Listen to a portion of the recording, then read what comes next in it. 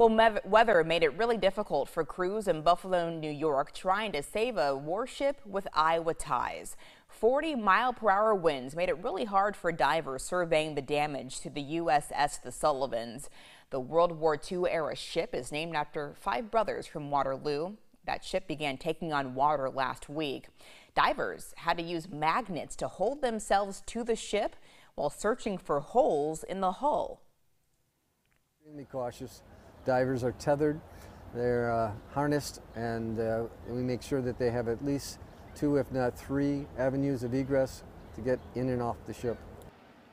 Pumps are working overtime to remove the water, and divers say that is helping. The front of the ship is now floating about six inches above the bottom of the Buffalo River.